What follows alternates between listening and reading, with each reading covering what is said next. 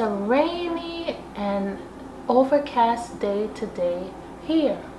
But we are preparing some meals that we can have ready and available and it is always so nice to have some extras that you can use such as your baked goods that you can go ahead and pull together to make up some wonderful and family enjoyable meals.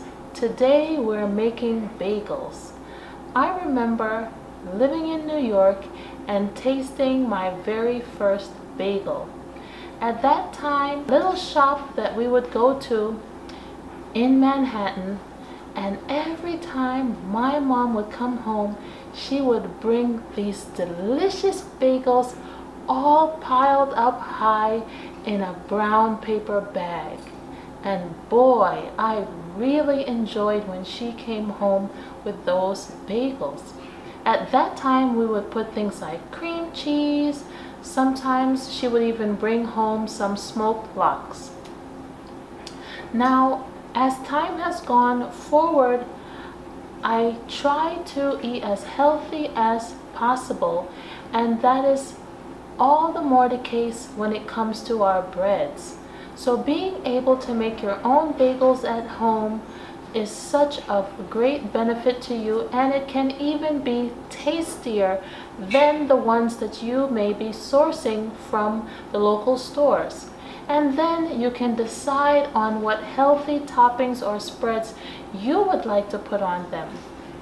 But let's get started with this simple sourdough bagel recipe.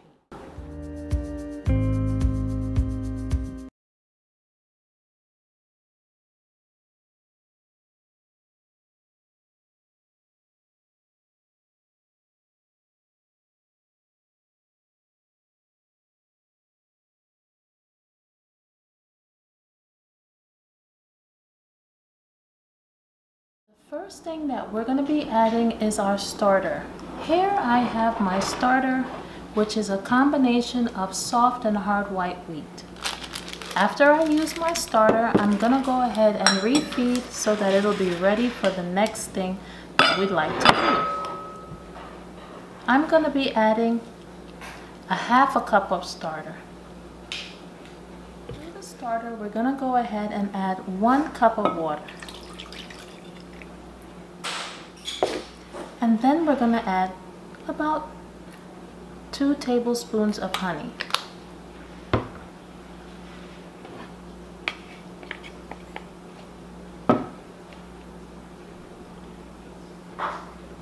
Get all your starter in there with all that wonderful nutrients. And then I'm just gonna mix these portions up just a bit before we add the rest.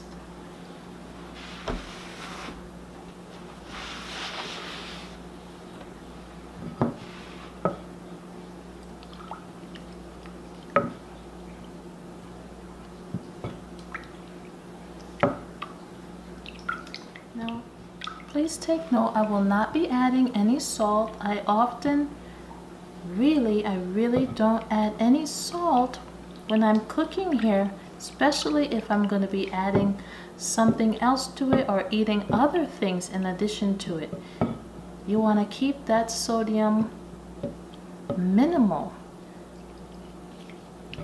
when you're preparing foods and keep in mind what will you be eating with your final product and how much salt is already there. Next we're going to be adding some fresh flour that has been recently milled. We're going to be needing four cups.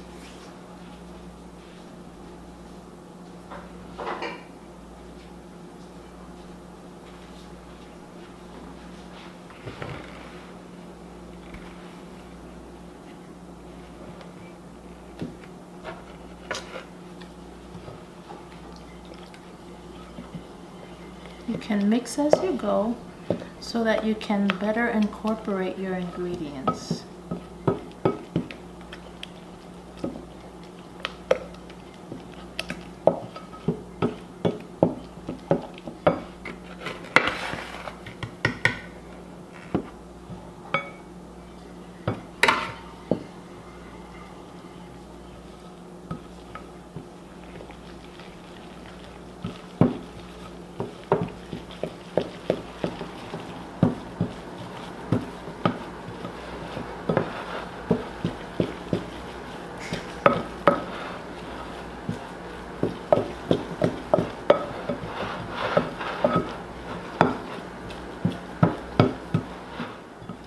can also add a little bit more water if you do need it to help to incorporate.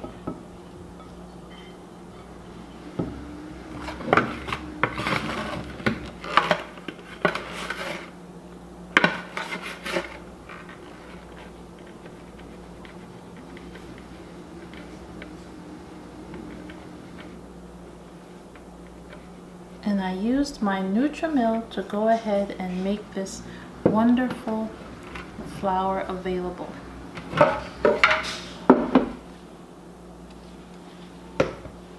You want to just go ahead and get your hands in there. Once you get to a point where you're not able to mix anymore.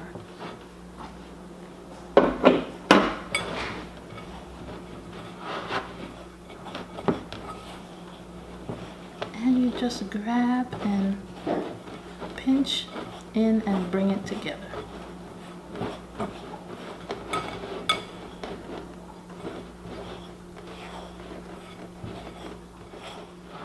Once you have incorporated your dough into a ball, you're going to go ahead and cover with a moist towel and let rest for one hour.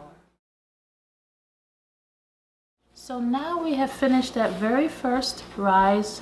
And you'll notice which when you're using whole grains that you're not going to get that large of a rise right right now in these short phases. But once you press on and you're baking in the oven, you'll see that you're going to get what they call some oven spring. And this is where you'll see that great rise happening and you'll also see it when you leave it to rest for a longer period of time. So right now our dough is looking pretty good. It's already in the shape that I need it to be in. So what I'm gonna do, I just added a little bit of flour to the surface and what I'm gonna do now is put it back in the bowl Until and on the, the next day and this part is so wonderful. As I had mentioned in another video, these moments of long-standing resting allow you to do your other tasks in your home. So if you have some laundry to do, you have some homeschooling to do, you have some reading to do, just enjoy these moments as you wait for your dough to rest and additionally ferment for you overnight. I will see you in the morning and we are going to be making some delicious bagels.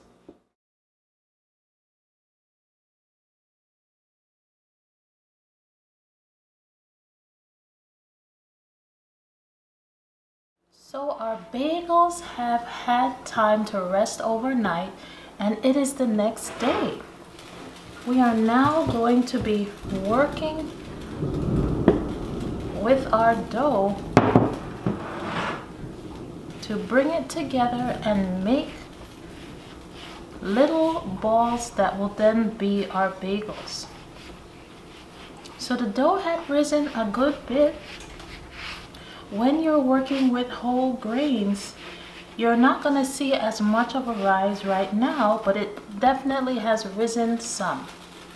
What we're going to be doing now is apportioning our bagels into sections that we can then shape into our standard bagel size and shape. What we're going to do to make it a little bit easier is, as you can see, I have already floured the surface here I'm just going to use my rolling pin to flatten it out a bit so that I can then get those sizes cut.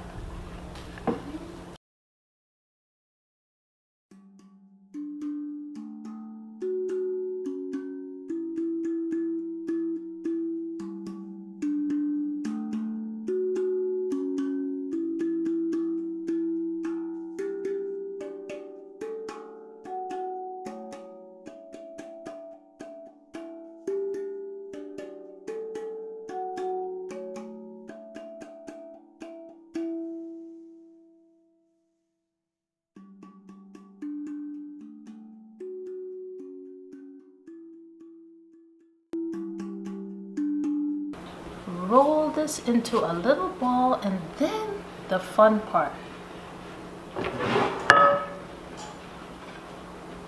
You are gonna go ahead and make a little hole. And you can just do that with your thumb coming out on the other side.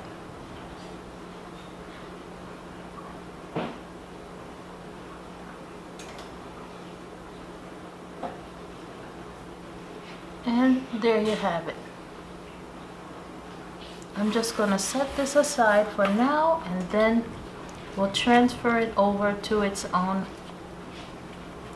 non-stick sheet. I have a helper here that wants to try so she's gonna go ahead and work on making some.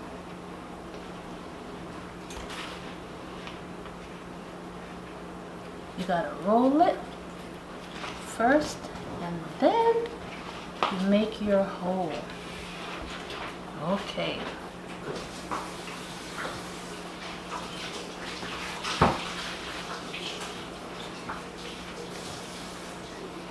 I have some more helpers here it looks like. So we are gonna work on it. I have another helper here it looks like. So we are gonna, you gotta dry your hands.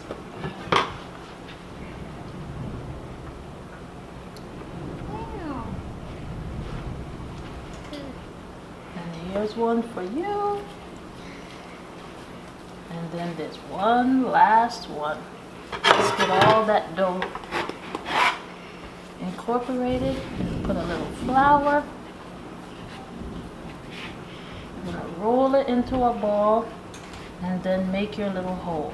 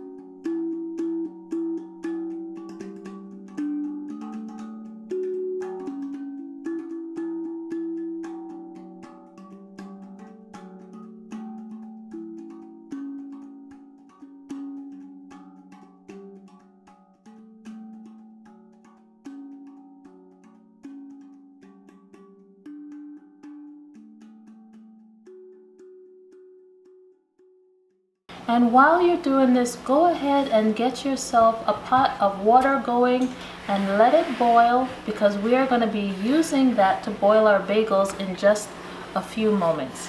Right now, however, we're going to let these rest for another 15 minutes and then we're going to get started with the cooking process.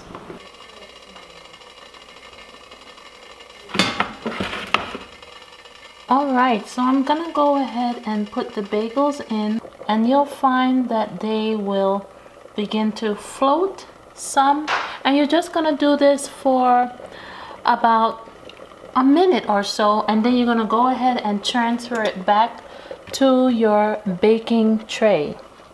Now ideally if you have a strainer that you can use so that you can go ahead and get that water to drip off that would be ideal but if you don't have it that's okay. I'm just gonna use my regular handy wooden spatula to get it up for me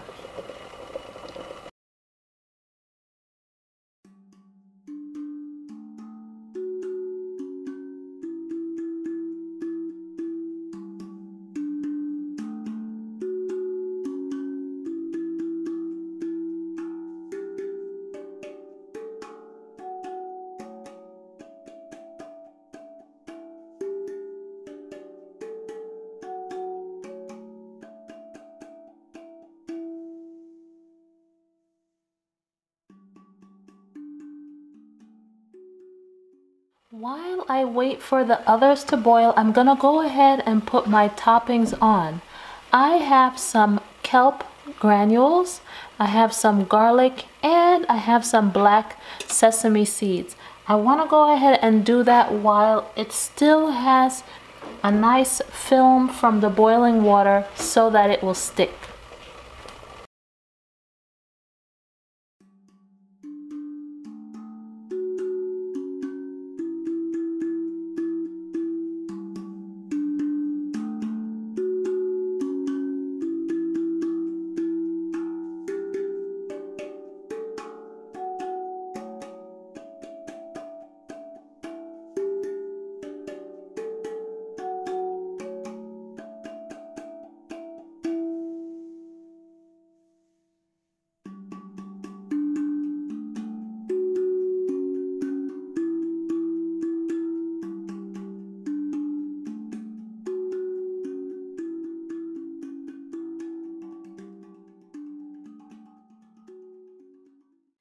Go ahead and leave some plain.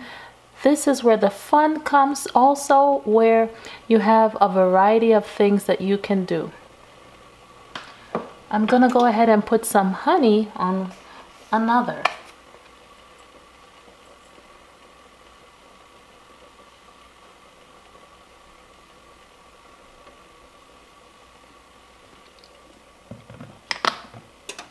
All right, we are all set with that process of quick boiling them. And now you wanna have your oven ready to go.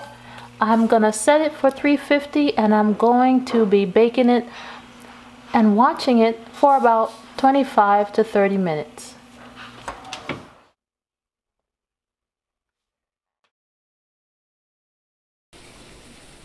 And here you have it delicious bagels that you can use for your breakfast or any time for a snack, paired with any of the toppings that you would like, but please do make it healthy. I hope you and your family will enjoy these bagels and as always be more and more sustainable and be blessed.